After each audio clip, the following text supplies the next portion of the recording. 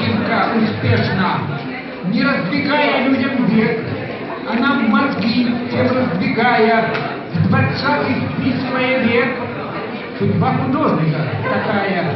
Ему что фото, что коллаж, афиша или клуб рабочий. Он время брал на абордаж, до всякой новизны охочий. Не знал, что значит он дизайн, но был он мастером дизайна. А этот убеждает зал, что то и фото дядя знает. Э, Он говорил эпохи «да», хотя звала супруга Анти. Художника судьба всегда, он из грядущего в десанте. Конвейер, фабрика, завод, да всяких тут эстетик разве.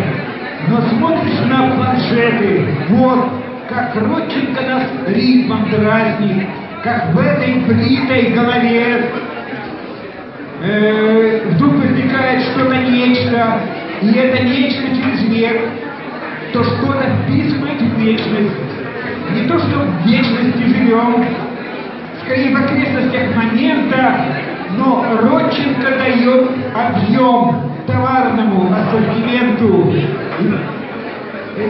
На эти снимки мы глядим и подсознанием понимаем, всему масштаб необходим. Увы, масштаба мы не знаем. Момент сегодняшний таков. Тоска поэтому сквозная, что знает всяк, кто Родченков, кто Родченко, не всякий знает. Холодный